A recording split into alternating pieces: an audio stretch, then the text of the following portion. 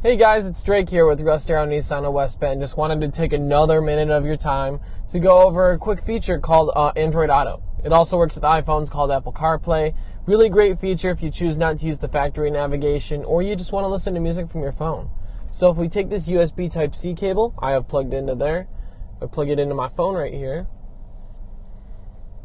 you'll see I get a prompt on the screen there. Now my uh, GPS is opened up. This is using Waze from my phone as well. Um, that means it's updated by the second to get traffic alerts, everything that you'll need.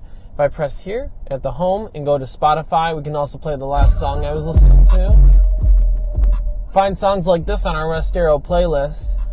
And you can use a ton of other apps from your phone. You can call people, use Messenger, tons of other apps. If you guys have any questions about this or other features, please stop in and we'll be more than happy to help you guys out. Thanks. Bye.